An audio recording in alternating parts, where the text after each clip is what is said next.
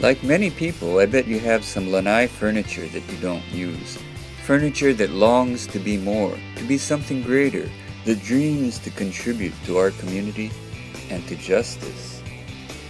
To be part of exciting art installations and the freedom of expression. To be with sexy anarchist monuments.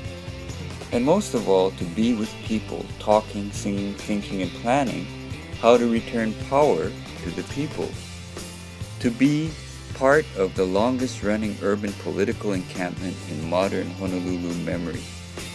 As you may know, Occupy Honolulu, or as it's more properly known, Deoccupy Honolulu, has suffered repeated raids by the Honolulu Police Department and city crews.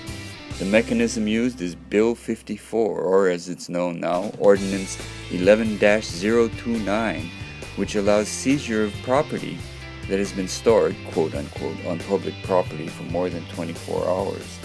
The main casualty of these raids has been the furniture for the public forum and the banners so necessary for political message.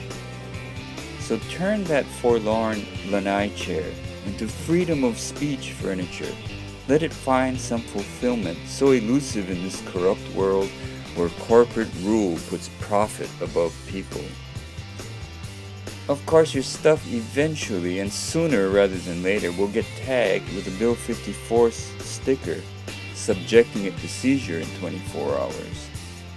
At that point, you can pick up your piece of furniture, which will proudly bear the Bill 54 tag, proof of your support for freedom of speech. Or, if the thing conjures bad memories, you can simply let the city take it away for you. Freedom of speech furniture. The choice is yours.